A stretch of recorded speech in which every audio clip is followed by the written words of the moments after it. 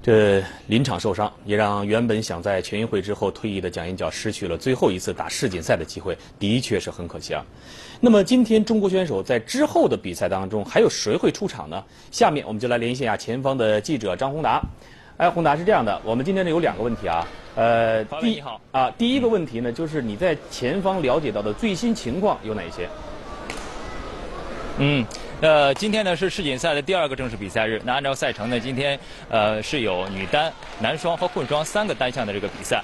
那女单上呢，本来。只有蒋亚角一个选手出战，那他因为他这个急性的腰伤呢，很可惜已经退赛了。而像王艺涵、王世贤和李雪芮呢，他们都是这个高顺位的大种子，那他们呢不用打第一轮就直接进入到了三十二强当中。那同样的情况也发生在男双这个项目上，像参与傅海峰、柴彪张楠以及刘小龙和邱子瀚，也是因为这个大种子的原因，他们不用打第一轮进入到了三十二强。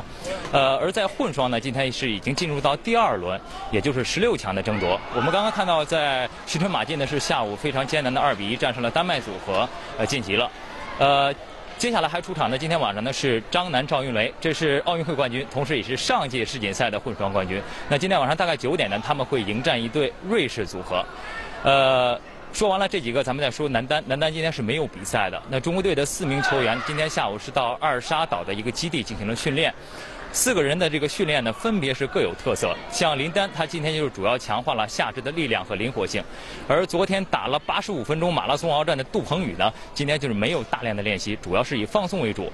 陈龙和王铮明在第一轮比赛赢得相对的轻松。那么今天呢，他们训练也比较正常，一个小时的力量训练，再加上一个小时的有球训练。